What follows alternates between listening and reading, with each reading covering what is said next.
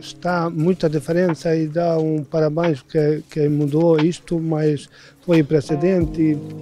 Para mim, é Braga, atrás do meu tempo, 22 anos, e agora é um outro mundo.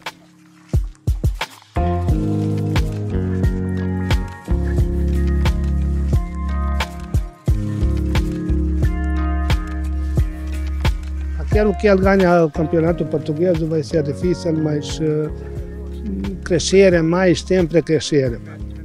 Não parar, sempre crescer.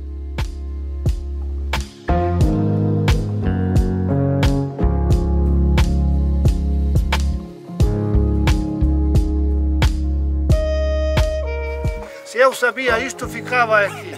Ainda jogava hoje, ainda jogava. Ficava, trabalhava.